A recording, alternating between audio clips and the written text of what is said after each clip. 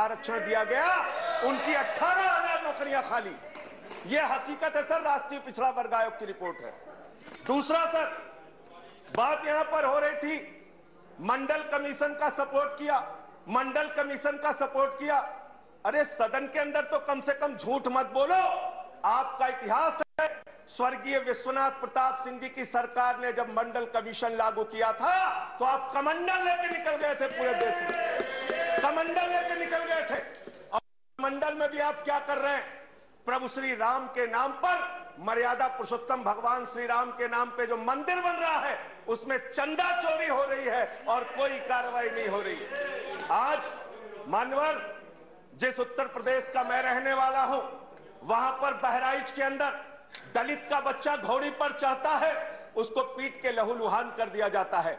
उस उत्तर प्रदेश में हाथरस कांड होता है रात को दो बजे एक दलित की बेटी को जला दिया जाता है।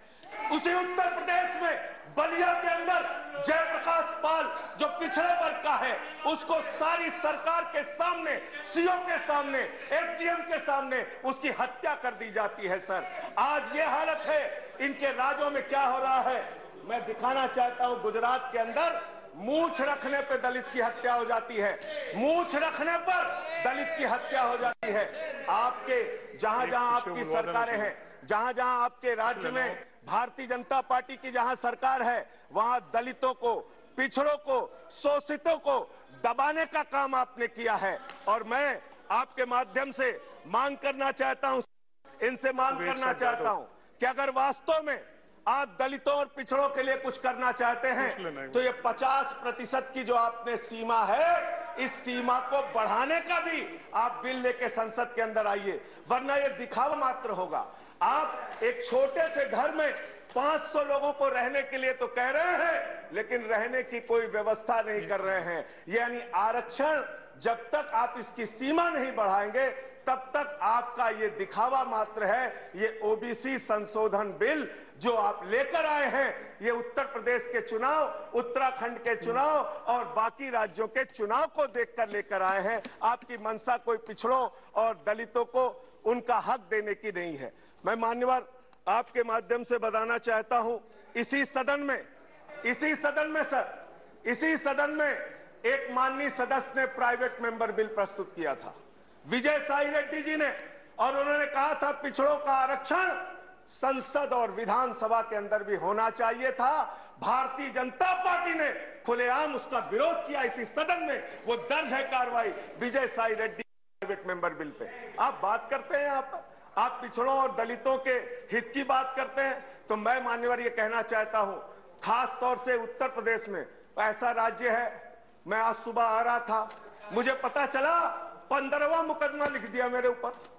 गैंगस्टर बना रहे हैं सर मुझे गैंगस्टर बना रहे हैं। बिल पे। गैंगस्टर बिल पर बिल पर बिल पर। योगी जी से कहिए बिल पर बिल पर बोलिए। इनकाउंटर कर दे मेरा इनकाउंटर कर दे पंद्रह मुकदमे लिख दिए सर पंद्रह मुकदमे। मेरा जुर्म क्या है? अपराध क्या है? मैंने चंदा चोरी का मुद्दा उठाया।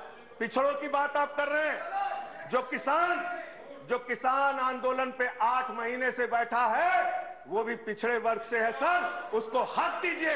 धन्यवाद संजय सिंह जी। धन्यवाद संजय सिंह जी। कर रहा हूँ सर। कंक्लूड कर रहा हूँ खत्म जो इस देश के पिछड़े वर्ग के लोग महँगाई से परेशान हैं उनकी नौकरियाँ चली गई। उनको हक दीजिए उनका सर। कोरोना की महामारी से उनकी कमर टूट गई।